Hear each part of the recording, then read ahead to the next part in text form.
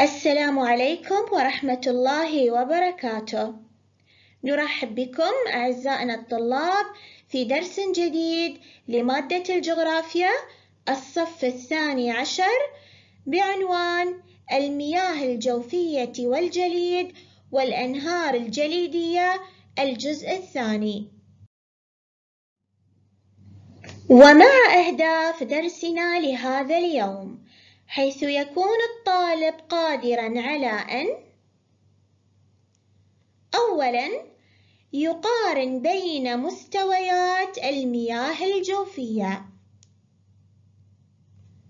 ثانيا يستنتج العوامل المؤثرة على مستويات المياه الجوفية. ثالثا يصنف مصادر المياه الجوفية حسب نوعها. ولنتذكر عزيزي الطالب ما تعلمناه في الدرس السابق. حيث عرفنا المياه الجوفية بأنها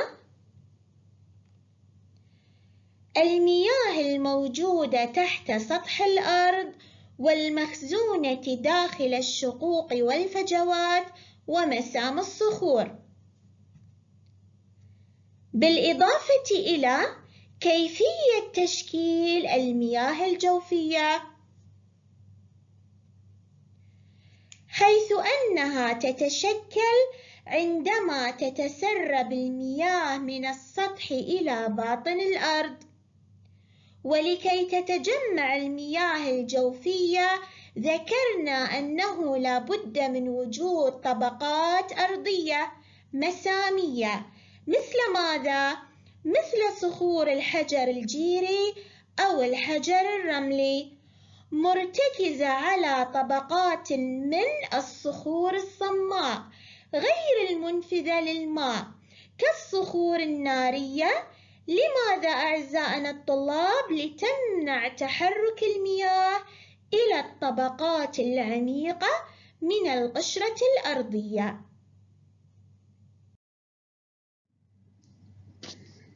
وكما هو موضح في الشكل الذي أمامك عزيزي الطالب أن المياه الجوفية تتجمع في باطن الأرض في مستويات مختلفة وفي هذا الدرس سنتعرف على تلك المستويات والعوامل المؤثرة فيها.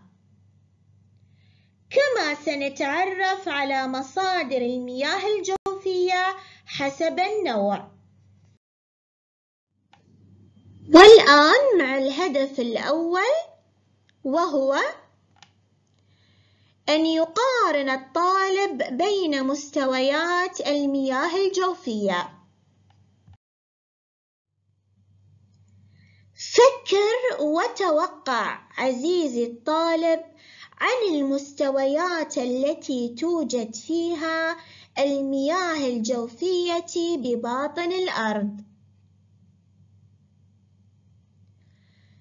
تقل كمية المياه الجوفية مع زيادة العمق أسفل سطح الأرض. ويرجع ذلك إلى ازدياد كثافة الصخور كلما اتجهنا نحو الطبقات العميقة. وبالتالي تقل المسامات بين الصخور بسبب زيادة الوزن والضغط على تلك الصخور. وقد تحتوي المنطقة على أكثر من طبقة مياه جوفية أسفلها. ويمكن التمييز بين مستويين للمياه الجوفية. فما هما؟ لنتعرف معا على مستويات المياه الجوفية. المياه الجوفية القريبة من سطح الأرض. والمياه الجوفية البعيدة عن سطح الأرض. حيث أن المياه الجوفية القريبة من سطح الأرض هي التي توجد في أعماق لا تتجاوز نحو 700 متر تقريبا. من سطح الأرض حيث يمكن استغلالها بسهولة ويتأثر كمية المخزون فيها بكمية الأمطار المتساقطة. أما بالنسبة للمياه الجوفية البعيدة عن سطح الأرض فهي التي توجد في طبقات أعمق من 700 متر تحت سطح الأرض. وهذه يلزم لها حفر الآبار والاستعانة بالآلات لرفعها. وأحيانا تكون ساخنة.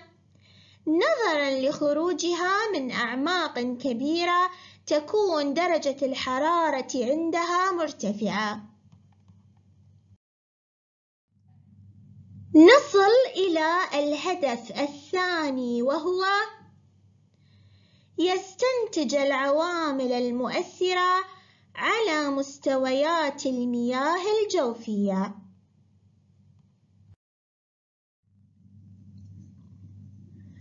هناك عوامل أعزائنا الطلاب تؤثر على مستويات المياه الجوفية فما هي؟ لاحظ معي الصور المعروضة لتتوصل إلى تلك العوامل.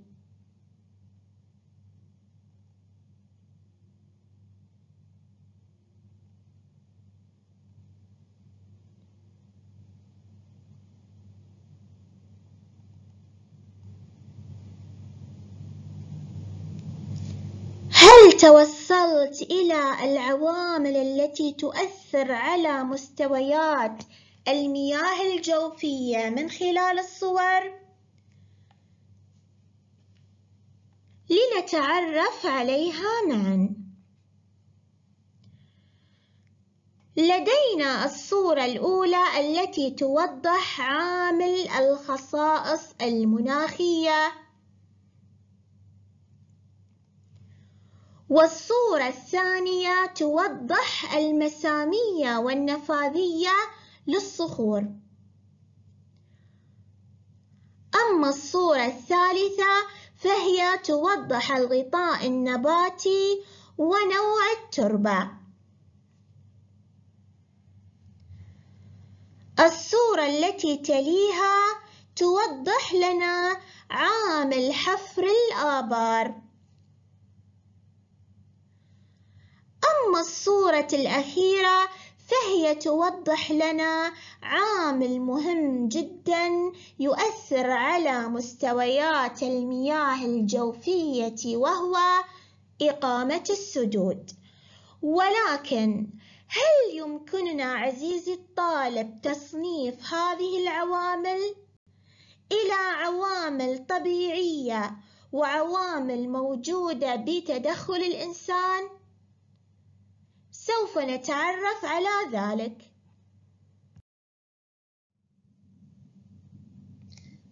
ومن خلال ما سبق عزيزنا الطالب يمكن تقسيم العوامل المؤثرة على مستويات المياه الجوفية إلى عاملين رئيسيين وهما العوامل الطبيعية والعوامل البشرية. ومن العوامل الطبيعية الخصائص المناخية للمنطقة من حيث كميات الأمطار والرطوبة والجفاف والتبخر والجريان. وتؤثر الخصائص المناخية للمنطقة على مستويات المياه الجوفية حيث أن سقوط الأمطار يسهم في تغذية المياه الجوفية وبالتالي ترتفع مستوياتها كلما زادت كميات الأمطار. عكس الجفاف الذي يؤثر سلبا على مستوى الماء الجوفي ويؤثر التبخر على مستوى الماء الجوفي وكلما زاد عمق طبقات المياه الجوفية يكون التبخر قليلاً. ويقصد بالجريان عزيزي الطالب وجود المياه الجارية والمتمثلة في الأنهار حيث تسهم الأنهار في رفع مستويات المياه الجوفية من خلال تسرب مياهها إلى باطن الأرض. وهناك عامل من العوامل الطبيعية وهو المسامية والنفاذية لطبقات الصخور الواقعة فوق مستوى الطبقات الحاملة للمياه الجوفية حيث تؤثر مسامية ونفاذية الصخور على مستوى المياه الجوفية. ومثل ما درسنا فيما سبق بأن المسامية هي الفراغات الموجودة في الصخور. أما النفاذية فهي قدرة الصخر على إمرار الماء بين حبيباته. ففي المناطق الرملية والحصوية تتسرب المياه بسهولة إلى باطن الأرض لتغذي خزانات المياه الجوفية بسبب ارتفاع مساميتها ونفاذيتها.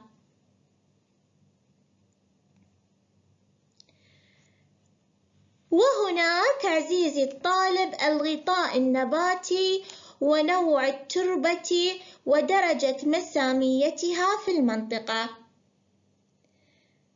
يؤثر الغطاء النباتي على مستوى الماء الجوفي حيث تستفيد منه النباتات لنموها ومن الملاحظ أن التذبذب في مستوى المياه الجوفية في المناطق التي لا تحتوي على أغطية نباتية يكون قليلاً.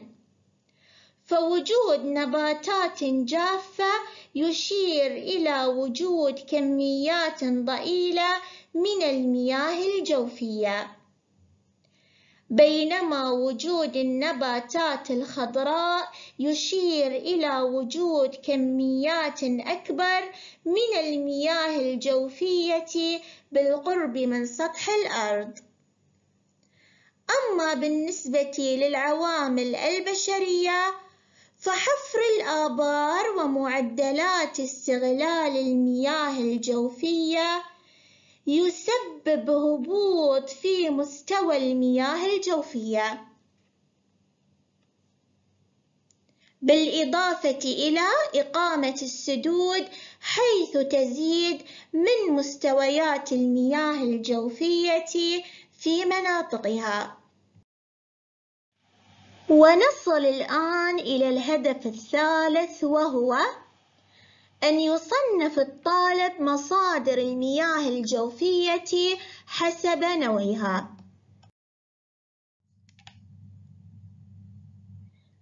فمن الممكن عزيزي الطالب تقسيم مصادر المياه الجوفية إلى ثلاثة أنواع رئيسية طبقا لدرجة الملوحة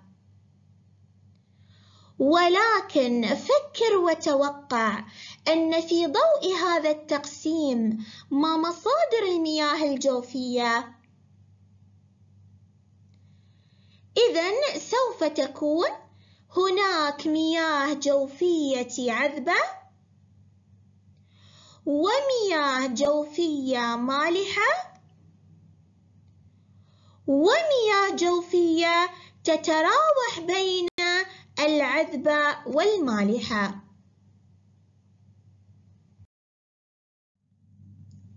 إذا تختلف مصادر المياه الجوفية حسب نوعها كالتالي. مصادر المياه الجوفية العذبة كالمجاري النهرية. التي تشق الأنهار وروافدها تكوينات من الصخور الرسوبية المنفذة للماء. فتتسرب كميات ضخمة خلالها. كما أن هناك مصدر للمياه الجوفية العذبة متمثلا في التساقط. يشكل التساقط بأشكاله المختلفة من مطر وثلج أهم مصادر المياه الجوفية العذبة على سطح الأرض. وأيضا لدينا مصادر المياه الجوفية المالحة. والتي تتمثل في مياه البحار والمحيطات والتي تتسرب خلال طبقات الأرض المجاورة لها. وذلك تبعا لانحدار طبقاتها. ويطلق على هذا النوع اسم المياه الجوفية المحيطية. وأخيرا نأتي إلى المصدر الثالث من مصادر المياه الجوفية التي تتراوح بين العذبة والمالحة فما هي عزيزي الطالب؟ هي مياه مختزنة في تكوينات الطبقات الرسوبية لذلك فهي تحتوي على كثير من الأملاح والتي تقلل من صلاحيتها للاستخدام وهي مياه تكونت في الطبقات الرسوبية المسامية نتيجة للنشاط البركاني حيث ارتفعت درجة حرارتها مما أدى إلى تركز الأملاح بها. لنلخص معا أعزائنا الطلاب ما تعلمناه خلال درس اليوم. حيث تحدثنا عن مستويات المياه الجوفية. وهي كالتالي المياه الجوفية القريبة من سطح الأرض والمياه الجوفية البعيدة عن سطح الأرض. كما تعرفنا على العوامل المؤثرة على مستويات المياه الجوفية والتي صنفناها إلى عاملين رئيسيين هل نتذكرها معا؟ هناك عوامل طبيعية متمثلة في الخصائص المناخية والمسامية والنفاذية والغطاء النباتي ونوع التربة. كما أن هناك عوامل بشرية متمثلة في حفر الآبار وإقامة السدود. كما تعلمنا عزيزي الطالب عن مصادر المياه الجوفية والتي قسمناها إلى ثلاثة أنواع رئيسية حسب درجة ملوحتها. حيث تنقسم إلى المياه الجوفية العذبة والمياه الجوفية المالحة والمياه الجوفية التي تتراوح بين العذبة والمالحة. ختاما أعزائنا الطلاب فلنجب على بعض الأسئلة حول أهم ما ورد في الدرس. السؤال الأول وضح العوامل المؤثرة على مستويات المياه الجوفية. حيث صنفناها إلى عاملين رئيسيين. العوامل الطبيعية